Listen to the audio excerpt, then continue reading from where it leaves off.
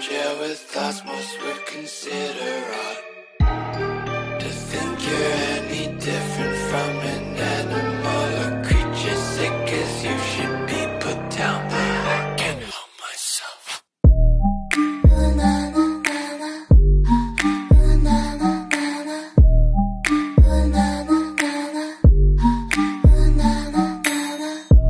Welcome to our freak show.